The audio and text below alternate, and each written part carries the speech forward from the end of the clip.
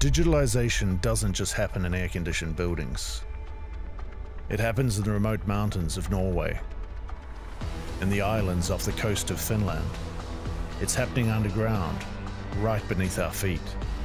And Telia low power wide area connectivity is making it possible to boldly go where no IoT has gone before. When the winter hits us, we have 25 meters per second wind. We have ice which can pile up to two meters around these navigation marks. In the spring, you need to launch a lot of boats out there to check that each navigation mark is in the correct position. And what we did to solve this problem that we had a solar powered tracker. So this is it.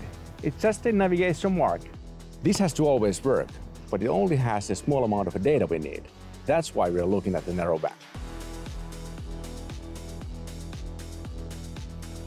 This is a rat trap, and it's a rat trap killing rats, but in the sewer system. So here we see the rat trap uh, actually mounted in a plastic uh, manhole.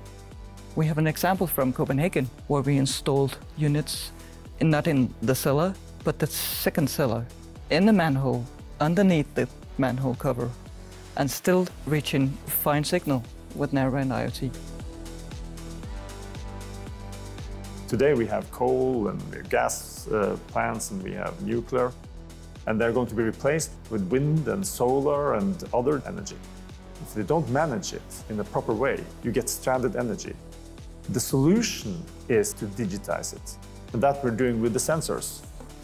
We put this on the wire, and then we collect the real-time, real data that the power grid owners need with neuron-to-neuron communication and narrowband IoT from Telia, we get a very solid, very robust communication infrastructure.